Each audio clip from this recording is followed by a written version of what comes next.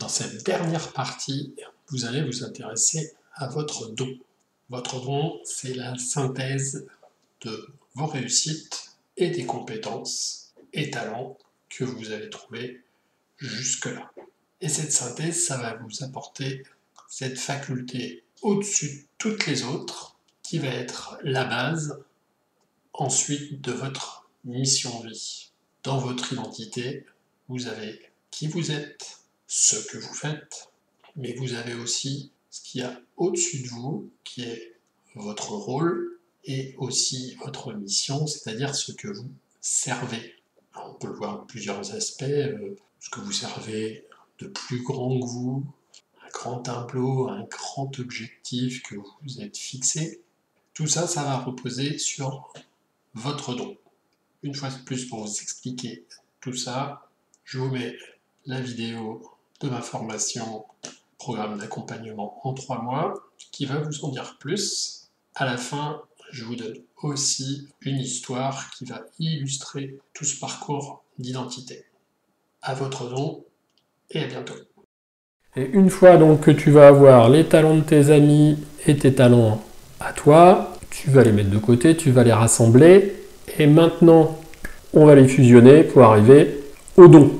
Donc une synthèse de tes talents et de tes succès pour savoir quelle est vraiment cette aptitude ultime et supérieure que tu vas pouvoir utiliser.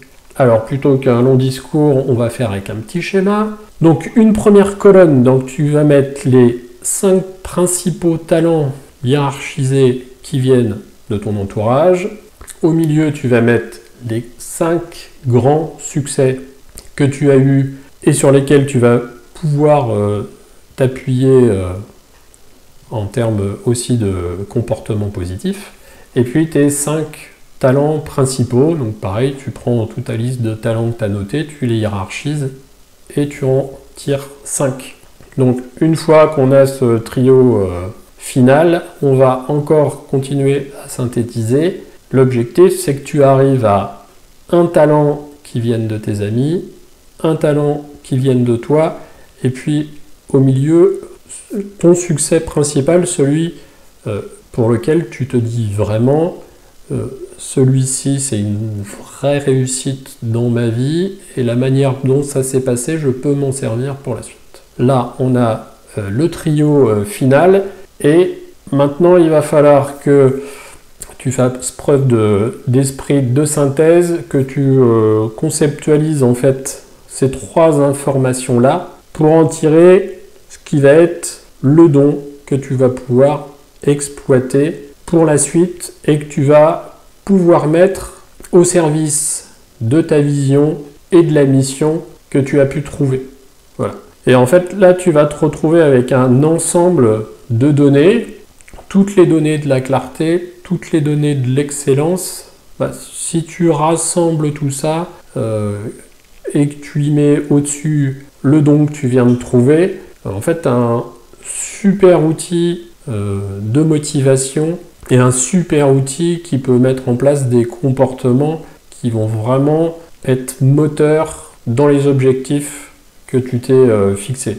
Donc pense bien qu'en fait tout est relié et que tous ces éléments, si tu les mets euh, bout à bout et conjointement, ils vont vraiment être hyper positifs.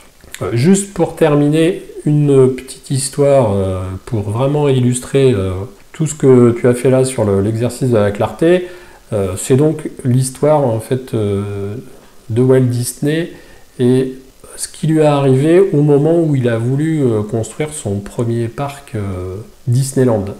Il faut se remettre dans le contexte, c'était la fin des années 40, après la guerre, le pays est en reconstruction, après, euh, après tous les événements euh, tragiques de la Seconde Guerre mondiale. Et pour les studios Disney aussi, les années 40, c'était pas simple parce que tous les films qu'il a sortis pendant la guerre, en particulier Fantasia, qui était son grand projet, qui était en fait sa vision pour l'animation, le projet d'une vie, est un four retentissant Euh, personne va voir Fantasia pendant la guerre, euh, de la musique classique, des hippopotames qui dansent et des, et, des, petits champignons qui sautent, ça intéresse personne. Donc il s'écarte du dessin animé pendant plusieurs années son grand projet, sa grande vision qu'il a à ce moment-là, c'est construire un parc d'attractions pour que les familles et les enfants se rassemblent dans un même endroit et puissent se divertir autour de l'univers qu'il a construit, en particulier l'univers de Mickey Mouse. Euh, pourquoi il pense à un parc d'attractions? Parce qu'en fait, sa passion dans la vie, c'est les trains miniatures. Alors, quand je dis miniatures, c'est pas les petits trains sur une table, c'est plutôt les trains euh, à, l'échelle 1 trentième sur lesquels on peut s'asseoir et puis faire des circuits dans son, dans son jardin euh, qui, qui, lui était quand même relativement grand. Et donc, il a cette vision et il se dit, bah, écoute, ma mission dans la vie, ça va être de tout faire pour construire ce parc. Donc, qu'est-ce qu'il va faire? Eh ben, il va voir des banques et il leur présente le projet. Et qu'est-ce que lui répondent les banques à chaque fois? Ils disent, monsieur, vous êtes complètement fou, euh, ça fonctionnera jamais, on mettra pas un dollar dans ce projet. Euh, sauf que Walt Disney, il l'avait déjà fait euh, pour monter Blanche-Neige à la fin des années 20. Tout le monde lui avait dit que ça marcherait jamais et ça a été un succès euh, immense et donc il a tout raflé à ce moment-là. Donc là il refait la même chose et il va voir des banques les unes après les autres et il est allé voir au final 302 banques et c'est la 302e qui lui a dit ok on y va. À partir de là en fait il a pu vraiment mettre son rêve en réalité, construire son parc de Disney World et donc aller au bout de sa vision et pouvoir aller au bout aussi de la mission qui s'était fixée.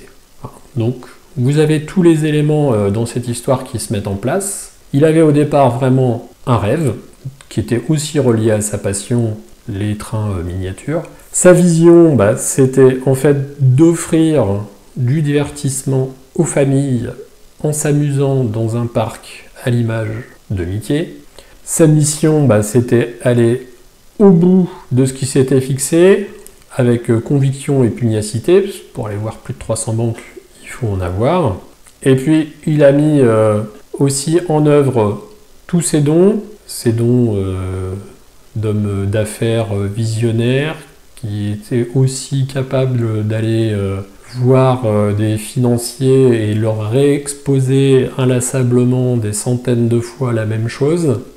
Et donc vous voyez bien que là, il avait rassemblé tous les éléments pour pouvoir vraiment atteindre son but ultime, l'objectif qui s'était fixé.